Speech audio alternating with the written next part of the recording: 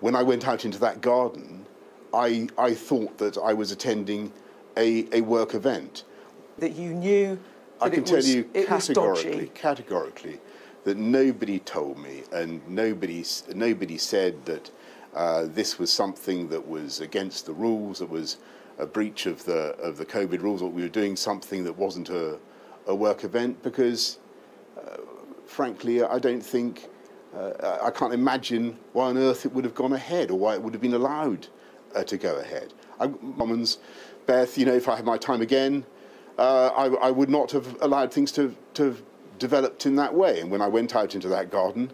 uh, yes, I, I should probably have told people, uh, I should have looked around and said, well, we've got to go back indoors, or this isn't the right way to do things.